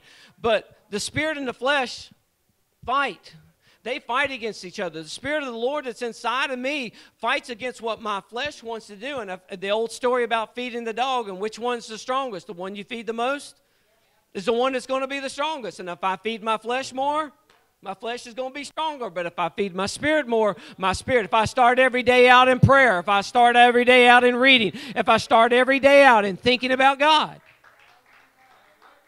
my spirit will be strong enough to overcome the flesh. But if I don't do those things, my flesh is going to be stronger. So the 30 men come and they save Jeremiah and they pull him out of the muck and, they, the, uh, and, and the mud. And here's the Lord looking out for the man of God. It, it seemed like he might have lost his life to the enemy, but the Lord pulled him out. Jeremiah was committed to the Lord. He was committed to giving the word of God. He was committed to being a preacher of the, of the gospel of that time, to obeying God, to delivering the message. And even if it meant it was a danger to his life. He didn't care. He said, Whatever God tells me, I'm going to do it. I don't care what kind of situation it's in. And because he did that, God protected him the Lord protecting him. And that's what happens when we make the commitment to God. God, even if I fall down, I'm still going to trust you. God, even if I fall down flat on my face, God, I'm still going to trust you. I'm still getting up. If the enemy's throwing me in a pit, God, I'm still going to trust you, God. I'm still going to serve you. Even if it seems like the whole world's crashing in on around me, God, I'm still going to trust you. God, I'm still going to survive, uh, serve you because God provides that way of escape, like Johnathan said. He's the only way of escape I've got. He's the only ticket I got out of this place. I'm going to ride that train. That's the train I want to be on. Not that long black one Johnathan talked about. Psalms 9 and 10 says, And they that know thy name will put their trust in thee, for thou, Lord, hast not forsaken them that seek thee. God is not going to forsake us. Those that are committed to seeking the Lord, He's not going to forsake us. He's not going to leave us. He's not going to abandon us. He's not going to neglect us. He's never going to uh, leave us alone. And that's a comfort in the time of trouble when you know that even when you may be all alone in your bedroom, sitting there crying because it feels like everything's coming against you, I'm still not alone. Even though I may feel like I'm by myself, even though it seems like you're in the depths of despair, the Spirit of the Lord can still speak to you if you are committed to Him. You're not alone in that pit. He is not going to leave you alone down there. He He's going to make a way of escape for you. He's not going to leave you there. Even when you can't see it, He's working. Even though you can't feel it, He's working because He never stops. He never stops working. He is the waymaker. You seen that commercial, uh, the Head and Shoulders commercial with Troy Polamalu? Never not working. Never not. That's, that's, that's Jesus. He's never not working in our lives. He doesn't sleep. He doesn't go on vacations. He doesn't take time off. He's always concerned about us. He's never not working in our favor if we're committed to Him. Jeremiah is rescued, and the king goes to him again, and he begins to secretly speak to him. And he tells Jeremiah in 38 14, he says, I want to ask you a question, and, and I don't want you to hide anything from me, Jeremiah. I don't want you to hide anything from me. And Jeremiah tells him in verse 15, he says, If I tell you an answer, if I give you the, the answer to your question, you're not going to like it, and you're probably just going to kill me. He said, You're, you're not going to listen to the counsel that I give you. Maybe, Pastor, that's what we sh- you should do when you have people ask you advice, not the part that, that you'll kill me, but, but you say, You know, if I give you counsel, you're just not going to listen to me. You know, why should I give you godly counsel when you've never listened to the counsel I've given to you in the past? We've seen those people that call two and three and four and five and six different people asking their advice for things because they're not really looking for godly wisdom. They're looking for advice that suits their desires. They're listening to, they're wanting to find that person that'll tell them the things that they want to hear. Well, Jeremiah wasn't one of them guys. He's not one of those guys that tells people, he wasn't going to tell the king what he wanted to hear. He was going to give him the word of God, whether, whether it hurt or whether it was good for him. Whatever it is, you're just going to get the word of God. And I thank God for the pastor. I thank God for people that stand up in this pulpit. Everybody from Brother Franklin to Brother Kirk to Brother Joey to Jonathan to Thomas to the pastor, uh, Brother Davis, whoever else that stands up here and preaches. And even though it's hard, even though sometimes we need hard things preached to us, it's not all rosy. Sometimes we need our feet stepped on so that God reminds us. I want the truth. Because the truth is what sets me free. That's the thing that makes me free. The truth. I, there, there's so much lying. There's so much untruth in the world today. Watch the news. You, I done got to the point where I don't believe what they show you on TV anymore. There's, and that's everybody. There's a there was a poll out there. I think there was like 40 percent of the people doubt really what's going on in, in Ukraine because they don't believe what the what the media is doing. Even though they see the pictures of it, you see everything on it. There's so much disinformation that's out there. They don't feel like they can believe anything. I don't believe the news, but I believe God. I believe the Word of God. I believe every word that's in there, and I believe that is His truth. And I thank God for people that will tell us the truth. The king tells Jeremiah in verse 16, he says, As the Lord liveth, that made our soul, he said, made this soul, he said, I'm not going to put you to death, neither am I going to give you to people that's going to put you to death.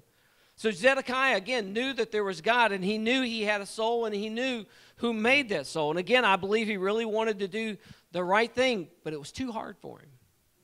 I believe it was too hard for him to do the right thing. So Jeremiah begins to tell him what God said. He said, he said, but you got to go back to the words that was originally said in all of this before we get to that part. Jeremiah says, he said, now if I tell you what God has told me, you're going to kill me.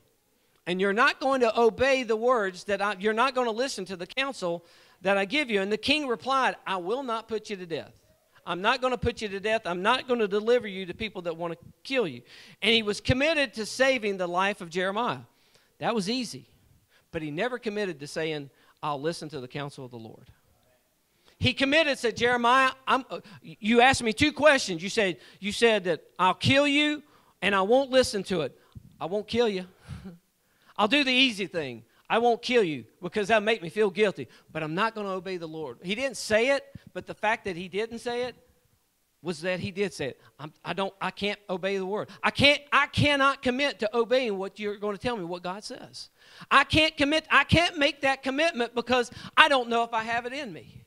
I don't want to get to that point in my life where I say, I can't commit to what God says because I don't know if I've got the stuff inside of me to be committed to God. I don't know if I can be 100% committed that no matter what happens that I am going to stay true to God. He never committed to obeying God and he never committed to putting that advice into action. I'll do the easy part, but I can't do that hard part. Again, he believed in God and he wanted to save Jeremiah, but he wasn't ready to make that commitment to obedience. So Jeremiah said in 17, he said, Go with the kings, go with the prince of the Babylon princes. He said, Then your soul will live and the city will not be burned. He said, You will live and your house will live. Verse 18, he said, But if you won't go, he said, This city is not going to make it. If you don't go, this city's not going to make it. They're going to burn it, and you're not going to escape out of their hands. Here's how it is, King. Here, here, here's how it is to live, King. He said, Here's where the blessings of the Lord. Give into the will of God, and you're going to be blessed. Give into the will of God, no matter what it looks like, no matter what it is, no matter how odd it is. Giving into the enemy, go, let them take you captive. Give in to the will of God, no matter what it is, and you'll be blessed. But if you fight against it, lay your pride down, lay your desires down, lay your fears down, and you're going to live. God will provide. Your city, your family, the people are going to live. But then the king reveals his fear in verse 19. He said, But I'm afraid. He was afraid. He was afraid of the people. He said, I'm afraid. He said, I'm afraid of the Jews that are fallen to the Chaldeans, lest they deliver me into their hand and they mock me. He was afraid of being made fun of. He was afraid of being mocked. He was afraid of making, make, them making him look like he was weak. It's the same issues that we have sometimes in our life. I, am af- I'm afraid to live for God. I'm afraid to make a stand for God. I'm afraid to stand up for what's right. I, yeah, they may tell dirty jokes. I'm afraid to, to walk away from them. I'm afraid to look like I'm better than them. It's not that better now. I, I've got a God. I've got a God that's holy. I've got a God that's holy, and I can't allow junk to come in my head. I can't. I don't want to allow that stuff in there. I don't want to affect the way I think. If you're worried, if you're living your life worrying about people and what they think, again, you're not going to live life. you're not going to live life if you're sitting there worried about how people you're not but if you worry about what God thinks about you, if you worry about how God feels about you, you'll find real life. Then you'll find peace, you'll find freedom, you'll find victory, you'll find direction for your life. And Jeremiah begins to plead with the king. He says in verse 38, verse, uh, chapter 38, verse 20, he said, uh, chapter 20, he said, But Jeremiah said, They shall not deliver thee. He said, Obey. I, I beg of you, king, obey the voice of the Lord which I speak unto you, so shall it be well with unto thee, and thy soul will live. You will remain alive, king, if you'll just simply obey. Everything will work out no matter how bad it looks, no matter how flipped upside down. Everything may seem, like Jonathan said, everything feel like it was going to, but if you just stick the course, if you stay on the tr- right train, if you stay on the right path, everything will work out. God, your soul will live. I beg of you, king, obey the Lord and you will live. But if you refuse, he said, Here's what the Lord showed me, and I don't, won't bring up the scripture. He said, But the women that are in your house are going to be taken to the king of Babylon's house. And they're going to say, Your friends prevailed in making you listen to them. Where are they at now? He said, They're going to take your wives and they're going to take your kids, and you're not going to escape out of their hands, king. And the city's going to be, the city is going to be burned, and it's going to be your fault. It's all going to be your fault. Here's what happens when you will not obey the word of the Lord when God has given you the word. The pastor said last week, it's easier for the sinner to say, it's easier for a sinner to live out there than it is for someone that's heard the word. It's easier for the sinner to go out there and live their life than it is for us for somebody that's heard the word that knows the word because we've got some responsibility now. God has showed us the truth. God has showed us the word. We know what the we know about the mercies. Jonathan told about what the mercies of God are like. That he'll forgive even somebody that's mutilated their grandmother. That somebody that God will actually forgive. We know about the mercies of God. I I know about the holiness of God because we sing it up here. I know about what God can do. I know, I know. The king wanted to know what happens, and he found out. He found out what happens when you obey, and he found out what happens when you don't obey. There is a reward with obedience, but there is a price to be paid when you don't obey. There is a price to pay be paid for disobedience. The king told Jeremiah, "Don't tell anybody that you've talked to me and you're not going to die." Again, he was committed to saving Jeremiah's life, but he never said, I want to do what God wants.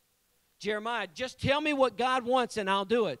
It was never that. It was never that commitment to obeying God. He couldn't commit to that. And finally, when the Chaldeans finally came in, the pastor alluded to it just a little bit last week. He and all the men of war and all his family ran away instead of giving in to the will of God. Allowing God's will to be done, he ran from it. Rather, rather than running to the altar and say, God, whatever it is I'm going to do, when they came, he ran away. And the king and his party was followed, and they was overtaken by the armies of Nebuchadnezzar, and judgment was pronounced on him. And this is one of the saddest stories in the whole Bible. When I read this, I want to tear up. When I read about it, they took the king, they bound him up in chains, and they took him up to Nebuchadnezzar. And they set his sons in front of him, and they killed him right there in front of him.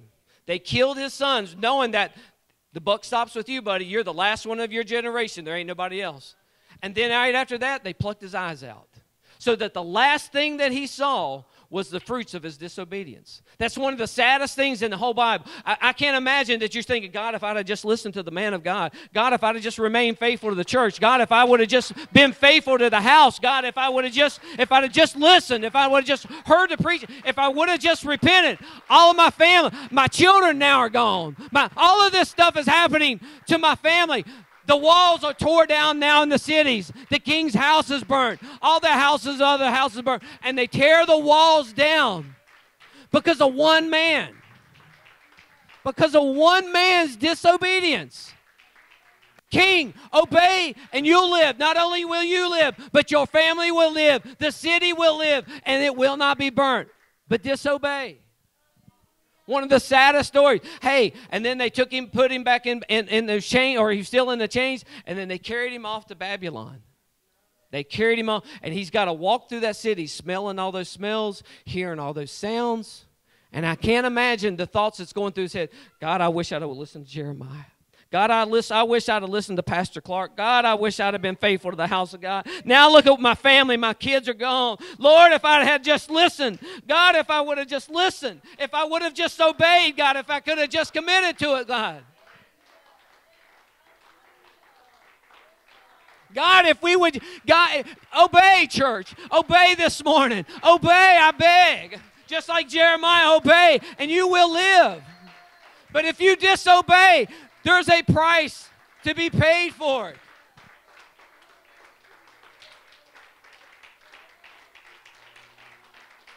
Lord Jesus, God, I praise you. Help us, God. Help me, Lord Jesus. God, help me, Lord. Help me, Lord Jesus. Help me, Lord Jesus. God, help us, Lord Jesus.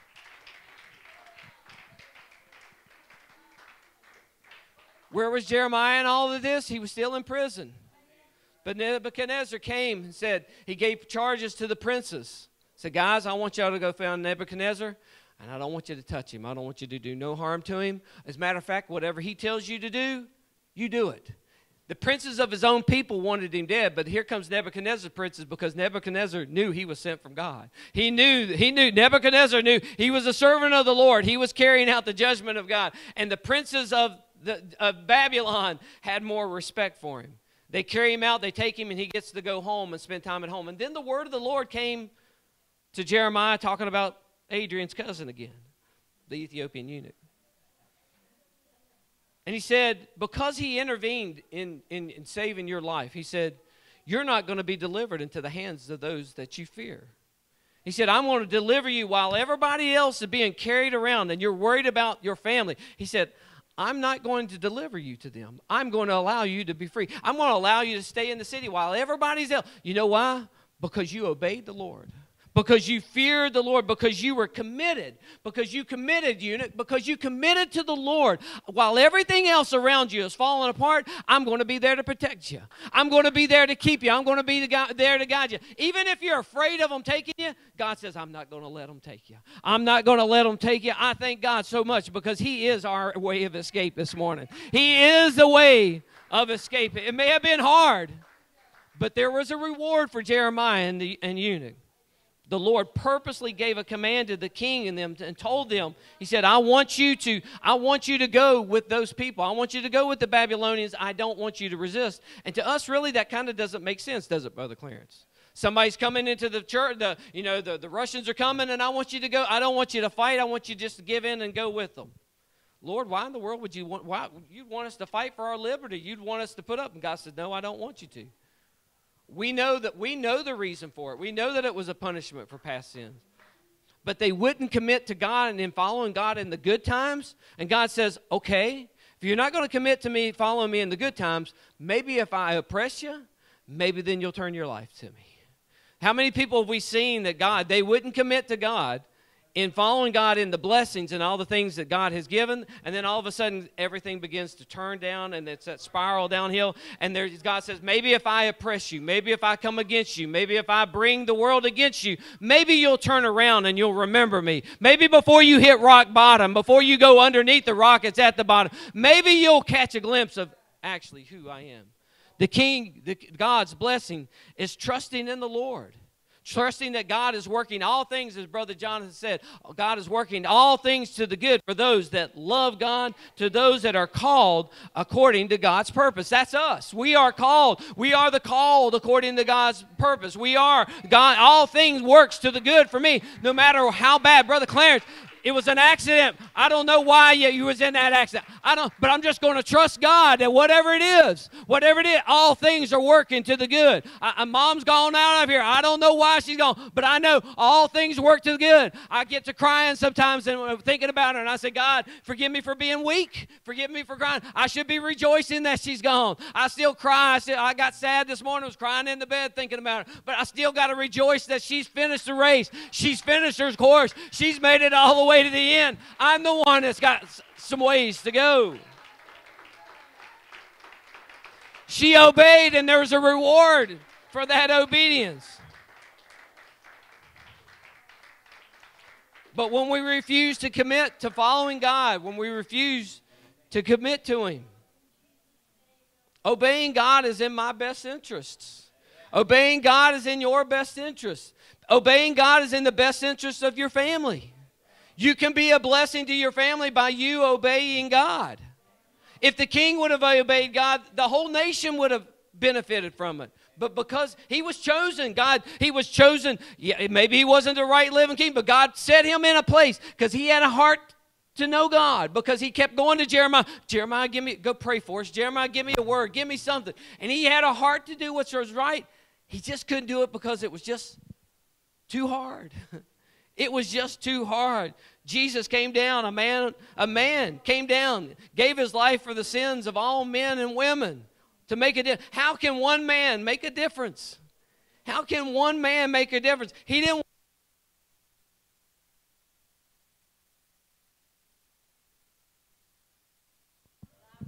Father, let this cup pass from me, but, but nevertheless, not my will, but thine be done. He showed us what obedience was all about. He didn't want the flesh of Jesus that was God in the flesh. He didn't want to go through what he wanted to go through. He says, It's too hard. I don't want to, but nevertheless, not my will, Lord, but thine, because he was committed to being obedient, because it wasn't just about him. It was about everybody else. Me being, I should commit to God not just because it's just about me, but because of her and Heather and Nick and everybody here in the church. If I wasn't committed to be obeying God, I wouldn't be up here. You'd have to find another guitar player. You'd have to find pastor. You'd have to find somebody else to be up here pre- preaching for him. Because it's not about me.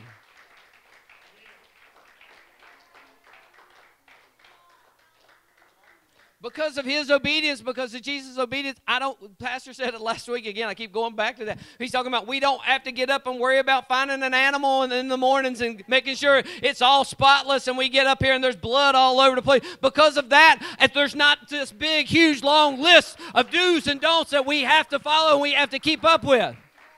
Righteousness doesn't come from that, but righteousness comes from his obedience. Romans 5 and 19 says, For as by one man's obedience, Many were made right, made sinners. So by the obedience of one shall many be made righteous. Romans 5 and 19, if y'all want to put that up there. Jesus showed us what being committed. It'll not just bless you, but it blesses others as well. If righteousness could come from the obedience of one person, if obedience could do that much for just one person, what would happen if a couple did it. A husband and wife was obedient. What would happen if several of us in the church were obedient? What would have happened if a, a lot of us in the church were obedient? What would happen? What would God do if all of us were obedient to the Word of God in our lives?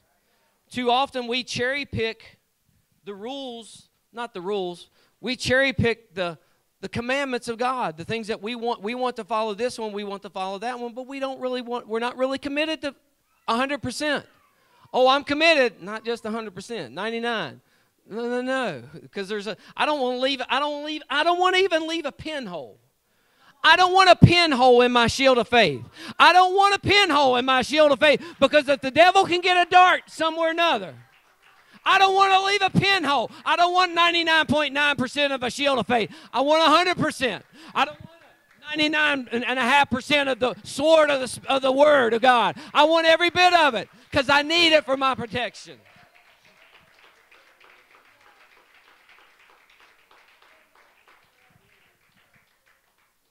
We want what suits our liking.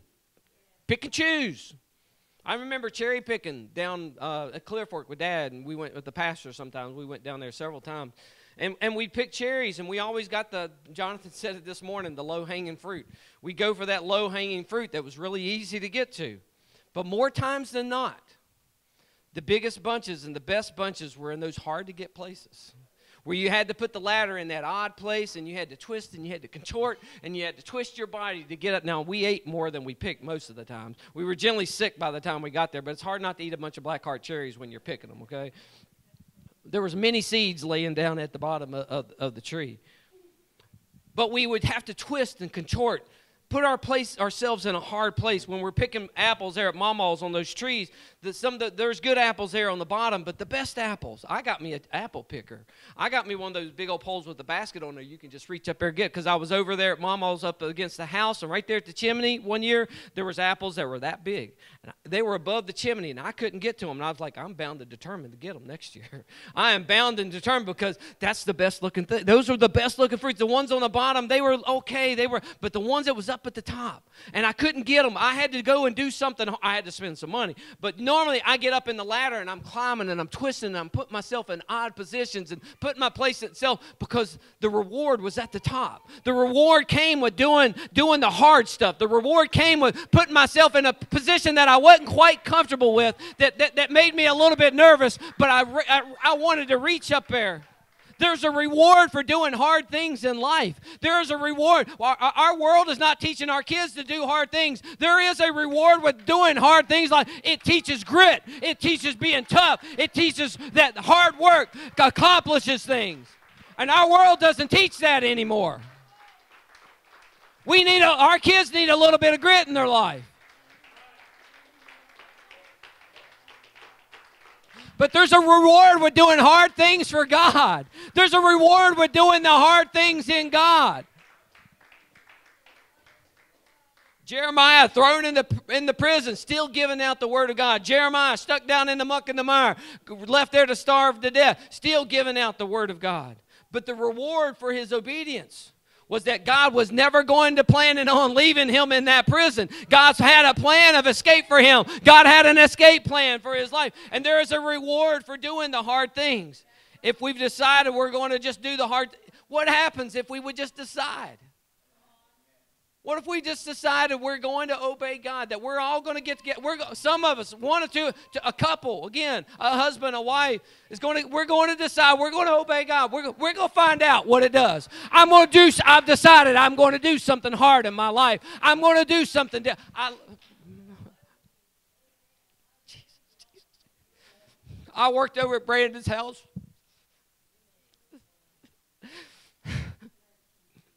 Back a couple months ago, I ain't never told him. I saw a pad that he had on his beside his computer. He had a list of things on there that he wanted to accomplish. I don't, can't remember. A millionaire. Don't you have a millionaire, Tom, John, uh, Tom, Brandon? Wanted to be a millionaire. Wanted to be a philanthropist.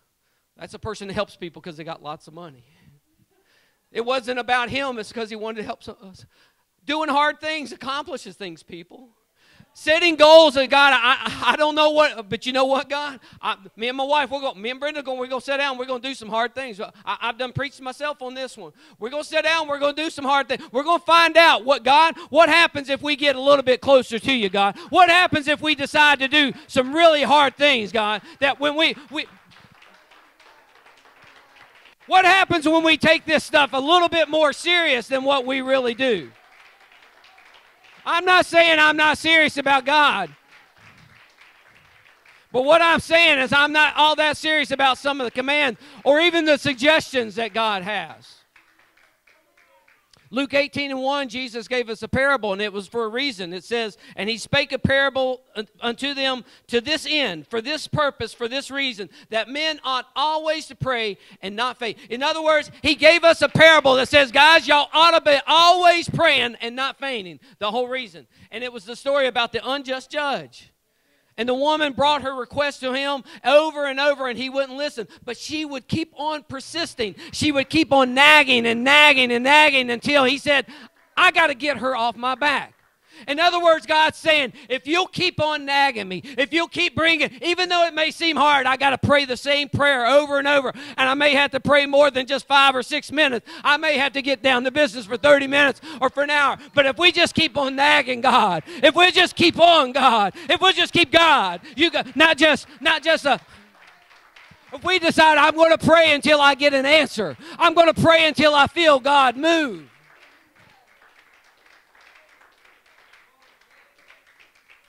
We don't just pray, oh Lord, touch Zach Carter. Oh Lord, just touch Brother Jay. Oh Lord, just touch Brother Randy Rumbarg. Oh Lord, touch Albert Nunn. Or touch our children. Or God, touch our ch- grandchildren. We get like Hannah and we get down at the altar and we cry and we pray until the man of God says, there's something, they must be drunk. No, it's the Spirit of God. I've got serious with God.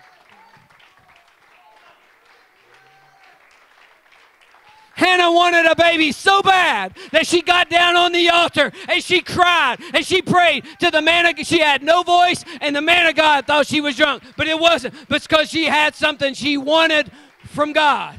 And she said, I'm going to keep on knocking. I'm going to keep on beating on the doors of heaven until God gives me an answer. What if we came down here one night and said, God, I don't know why you ain't healed, Brother Jay, but God, we're going to be here until we get an answer. I'm going to find out tonight, God. We're going to be here for an hour, two hours, three hours, whatever it takes. There is a reward in doing hard things. There is a reward with obeying God.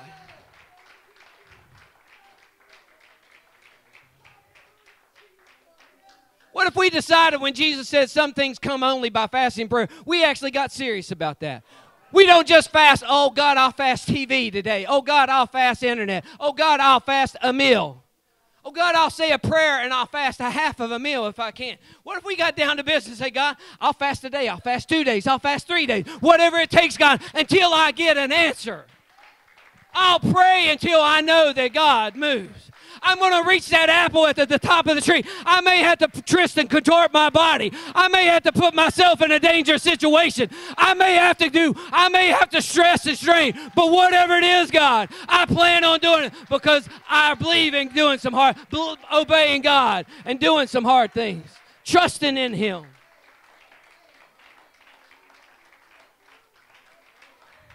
We may have to take one prayer request and fast a week and pray hours for it. But whatever it is, if it was serious, Sister Jewel, how serious? Sister Jewel's life, she's over in the hospital. What if we had to get down and pray the rest of the day? God, touch Sister Jewel. Lord, bring her out. God, whatever it is, Lord, I want you to move. I know we pray and I know we trust God, but the, Jesus said, I give you this parable to this end. Men ought always to pray and not to faint. Don't faint until you get you an answer from God. There are some things that are worth that. I trust the Lord for Sister Jewel. I trust in Him that. But there are some things that are worth just that kind of a prayer. There, my kids, my well, I ain't got grandkids yet. I don't want to go there, Lord, yet. Hold on, Duane. I almost said my grandkids. I don't want to be a prophet quite yet. Whew. Pull the reins back on that one. But there are some prayer requests that are worth that. There are some things that's worth an hour of prayer. Charlene called me the other day and she was talking about Bryce, and she called me Bryce is crying and praying. He can't go to sleep. He can't, you know. And I said, "Well, we'll pray. We'll, you know, the, the, the old canned answer. We'll pray. We'll pray. Okay." And then I said, "No, we're going to pray right now." And we began to pray over the phone. We began to pray, and I felt the Spirit of the Lord begin to move. And it wasn't long after that, she sends me a picture of him falling asleep on the couch. And I thank God. I had to thank God. God, thank you, Lord, for being answering prayers still, God. It wasn't a long prayer. It don't have to be a long prayer. But you pray until you feel something from God. Oh Lord, just I wasn't satisfied with just look. I prayed the rest of the day. Every time I thought about him, God touched Bryce. God touched Bryce. God touched Bryce. I'm closing. I'm closing. I'm serious. I'm promised. I'm closing right now. Y'all come up. Committed to obedience. It can be a hard thing. It can be a. T- it, we may worry about people mocking us. We may worry about people making fun of us. But there's blessings that come with being committed to obeying God completely, to being faithful to His word, to being faithful to His commands, His guidance, His suggestions. The king, all he had to do was just, all he had to do was go with the invading army, and everything was going to be fine. But because he didn't, his, his children lost their lives. He lost his eyes. The city was burned. The walls were torn down. Everybody's house was burned. Jeremiah pleaded with him Obey, king, obey, and live. And that's all it took. But his desires of his flesh, the desires of his heart, he couldn't overcome that because it was just it was just too hard. And because of all that, he feared the people, he feared about what they was going to do. And he had to pay the price. And he was on his own when he got caught by the king of Babylon. And that's what happens when we choose to do what we want to do versus doing what God wants to do. We're on our own. And I don't want to be caught on my own when the enemy comes knocking on my door. Johnathan said it while he was, while he was talking. He was talking about David and how David sent off the, the Ark of the Covenant. He was separating himself from the presence of God. When you go off on your own, you are separating yourself from the presence of God. Because God says, obedience is this path. And you said, I'm going to go take a peek over in this direction. I just want to see. I don't want to go quite over this way. I'll go, instead of this direction, I'll go that direction. It's kind of close. I'm close to it. But that path eventually leads where God's not. And I don't want to be on my own when the enemy comes knocking. I, I, don't want to be on my own when the troubles start coming down. When, when everything starts going on, I, I, I don't want to be on my, I want Jesus in my boat. I want Jesus right there beside. I want the master of the winds. I want the master of the seas. I want the master of the waves in the boat next to me. It's not easy. It's, it, it takes hard. It's not easy to admit that I'm not exactly where I need to be. I'll tell you, Duane tells you right now, I'm not exactly where I need to be today. I'm not exactly where I need to, where I could be. I could be a whole lot closer to God. And I want to, but I'm not going to do it until I get totally committed to God. And following his will and following his leading no matter what, no matter what it takes. Today, right here's an altar. Right there's an altar, and this is the greatest place in the world that you can start saying, God, I'm going to start obeying. But it's not hard to come up here. It's hard to come up here and make that admittance. I know a lot of us like to pray at our seats, but sometimes it takes doing some hard things. It takes shaking it up, shaking up the basket sometimes, shaking the, shaking the tree, doing whatever it takes. But there is a reward in it. I promise you, there is a reward. God will reward you if you'll be faithful to Him, if you'll be faith, committed to obedience. Won't you come, Pastor?